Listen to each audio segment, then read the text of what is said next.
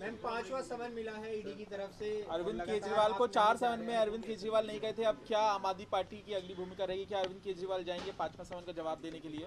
हमें अभी पाँचवें समन की हमें अभी पाँचवें समन की जानकारी मिली है। हमारी लीगल टीम इसको स्टडी कर रही है और जो भी कानून के दायरे में उचित होगा हम वैसल करेंगे। आगे क्या आम आदमी पार्टी ये कह चुकी है पहले प्रियंका की ये समन गैर कानूनी था। आपने ये भी कहा था कि कोर्ट में ये समन टिक नहीं पाएगा। अरविंद केजरीवाल खुद समन के बारे में चर्चा कर चुके हैं। सवाल ये है कि क्या आने वाले दिनों में पाँचवें समन का जवाब देंगे अरविंद केजरीवाल या आगे आप लोग फ़िलहाल लीगल टीम से चर्चा करने के बाद ही कोई फैसला टाइमिंग को लेकर भी सवाल खड़ा किया था चुनाव से पहले। देखिए चार जो पहले समन आए थे वो गैर कानूनी थे। हमने ईडी को ईडी से हमने जवाब मांगा था। जो अब पांचवा समन आया है, उसको हमारी लीगल टीम स्टडी कर रही है।